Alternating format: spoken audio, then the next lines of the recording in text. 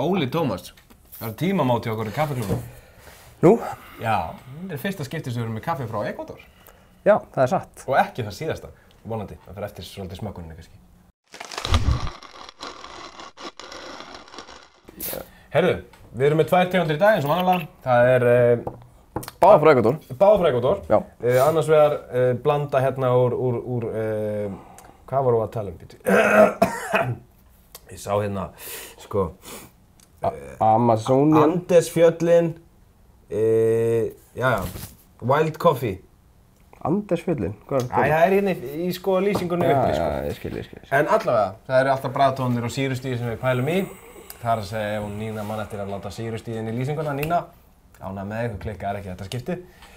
En við erum að fara í millirista kaffi, uh, frábært bræðu, lítil síra, netu og súkulaði kemur, uh, ásamt jarðtónum og þurrkuðum ávöxtum. Það er Amazonian blandan. Mikið rétt. Og hinn blandan Kilanga, ræktað í, á Loja-svæðinu sem er uh, um það byrjum 2000 metra yfir sjáamáli. Hitt kaffið er í 1300 metrum yfir sjáamáli, þannig að það ætti að vera gríðalegur bræðmunur á þessum tveimur tegundum. Uh, þar erum við að tala um gott sírustig yfir meðalægi, Hvort er þetta að tala um núna? uh, Kilanga. Kílanga. Gott sírustig, létt og tært bragð, um, blanda af súkkulaði, rauðum berjum, límónum og greipi. Þannig að við erum að tala um Vá. svolítið frútti og uh, síruríkt og annars vegar svolítið svona hnetu súkkulaði keim og það er minni síra í því kaffi. Því ætti þetta að reynast gríðlega einfalt fyrir. Og greipið með svona biturleika. Já, og biturleiki í greipinu. Svona svolítið eins og þú hefur út í gagvart lífinu. Já, það, má það er alveg satt, sko. Þú telur að lífið hafi hlunfærið þig. Já, já, enda, enda hérna, alltaf að berja á mér. Blessaða líf. Herru, góð lykt af þessu. Jæja, Tilbúin? já, Nei, þú átt sko að, þú átt að hugsa á meðan þú hrærir, ekki á meðan þú pressar. klúra þess alltaf. Þetta er hljóða sem við viljum heyra í Aeropressinu sem fæst vissulega inn á kaffeklubunum.is og er einn skemmtilegast og þægilegast uppáhellinga aðferð sem við félagarnir könnumst við einstaklega þægileg fyrir sömarið, útilegunar og ferðalögin. Mín uppáhalds, bara nummer eitt. Já, ég, sko ég, já, ég er oftast í, í Aeropressinu sko. Jæja. Þetta er, ég ætla ekki að segja neitt strax, ég ætla ekki vera að tala að mér hérna. En ég sparaði mig fyrir þannig þátt, vanlega þegar ég kemur í búið með svona fjóra og fimm bolla, þannig ég er mjög tjúnaður. Ég er bara búið með einn orkudrykk og einn bolla núna. Herru, ég er búinn að vera veikur í viku, engar á ekki, búinn að fara í COVID-test. Og hérna, er, er að klára að jafna mig. Þetta er fyrsti bollin í heila viku maður. Aha. Þetta verður erfið Þetta dagur. er rosalega gott kaffi. Sko, ég, var, ég, var, ég er bara búinn að finna leiktina. Og ég hugsaði strax svo að þetta er svona, þetta er svona sterkur yðnaðabolli sem þú myndir elska. Það er ekki rétt að mér. Jú, Ég finn það leiktinni. líka bara rosalega bræðmikið. Það eru, eru svona þessi jarðsúkulaði tónar. Vá, mjög, s- já, þetta er mjög sterk, sterkt bragð. Já, þetta er svona, uh, sko, kaffibræðið sjálf, sem slíkt, er mjög, það er mjög yfirgnefandi. Já, og það er það sem ég fíla við góðan bolla þegar að þú finnur alveg bræð á hann. Svo líka erum við sennilega með aðeins uh, öflugri blöndu heldur en vanalega. Þú ert svona aðeins búin að vera með þunnan 13. undanfarið. já, er það. Það er, hérna, já, nú er allt upp á tíu hérna, sko. Undibúning sem vinnan góð. Mm, þetta er ógeðslega gott kaffi maður. Ég, ég hlakka til að smakka hinn. Af því að sko, Ég held að það verði mikið kontrast núna, sko. já, það ætti að vera mikill munur. af Því við erum þarna með súkulaði, kastanjur, hnittur, ásamt jarðtónum og þurrkum ásum. Ég held að það sé þetta kaffi. Og svo erum við með meira frútt í súkulaði, rauðber, límónur og greip. Og það, þetta sýrur ríkara kaffi. Það er ekki mikil síra í þessu kaffi. Nei, ekki. ég get aldrei getið það. Alls ekki sýrut. Heyrðu, ringi sími. Áhrifavaldur stoppar ekki. Ég byrja, að taka þetta og segja, ég ringi eftir smá. Ok, Alltaf leið, það er leið. alltaf leið. Hæ Rakel mín. Herru, ég er góður. Ég má ég ringi eftir fimm minnundur? Ok, ég byrja alltaf tilbaka. Bye.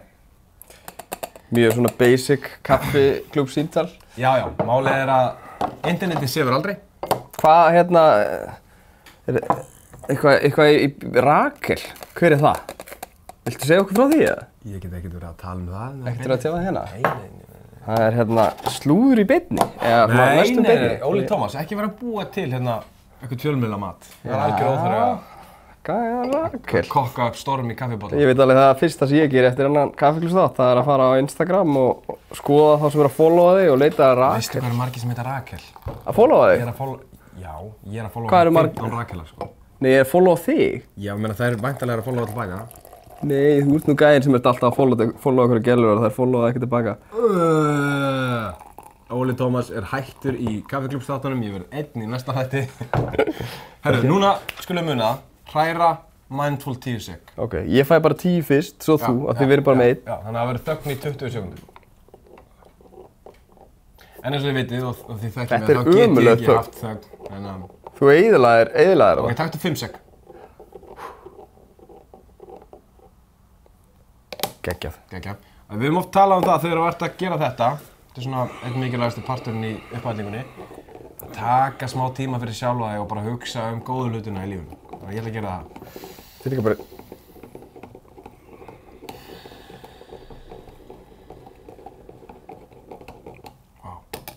Þetta er svo kraftmík. þetta er líka bara, þú veist, þau taka þetta mótnana fyrst í bollin. Þetta er besti tími dagsins. Ég með drullasóknum. Já, gjör það svo vel. Skemmtilegt. Nafn, drullasókurinn. Já, þú ert alltaf að, hérna, þú ert alltaf að glorifæja aeropressu svo mikið. Af því að það er líka æðislega. Já, já, það er bara þannig. Hvernig finnst mér alltaf að þú eiga svo rosalega erfitt með þetta? Ég- búinn að vera í ræktinni, eða? Ég er endar, viðkynni, ég gæti alveg, ég gæti hafa verið duglegur undanfæri. Já, já. Óh, sós, sós, sós, sós. Finnur þú ávast að kemur? Þetta er allt, allt annað bolli, sko. Þetta er bara eins og önnur heimsálfa. já, já.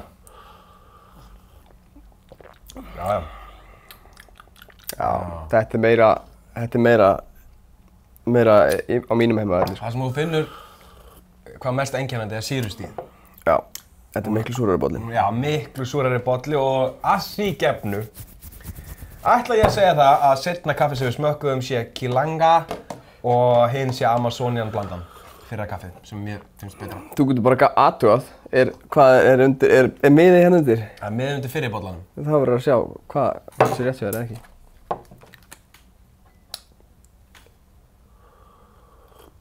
Ég hef náttúrulega auðvitað rétt fyrir mér. Já. Eins og vanalega. Eins og vanlega. Þetta er orðið leiðilegt, sko. Þetta er orðið leiðilegt. Herðu, næsti þáttur, að því að það er sumar Já. og við erum að detta inn í, næsti þáttur er ágúst þáttur. Hey. Já, passar. Við skulum taka ískaffið þátt. Já, takk í, já, gerum Það það. kennaði þeim að búa til gott ískaffi. Og bara mér, ég, ég er ekki já, ískappi og ég ætla að fara í bæði sigurlösa útgáfu og svo með sigri. Fyrir- Ok, Já. ok, ok. Þannig að þetta verður, það, næsti þáttur verður í rauninni sprengja og uh, sennilega besti þáttur kaffiklúpsins frá upphafi og til eiliða nóns. Það er ekkert annað. En ok, þú ert hrifnari af setniballan. Já, ég er, ég er líka, ertu búinn að vera að prófa að smakka á milli? En þú? Nei, ég er hrifnari fyrir. Já. Það er gaman, gaman að því hvað fólk er svona misjæmt. Þetta er, ég, Ég, sko málið, það sem við erum búin að upplega síðustu tvo eða þrjá þætti að þegar þú ert að fara á milli, þú veist, þú byrjar á að smakka já, já. svo líður smá tíma og þú smakka næsta en þegar þú ert að fara svona hratt á milli þá finn ég mesta munin á kaffinu Já. En það verð, þú veist, núna er annar bollin tölvöld heitar en hinn, sko.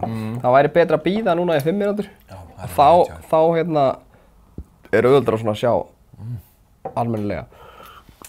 Og Við hvetjum ykkur, Binni, heyrist það þá í, í binna?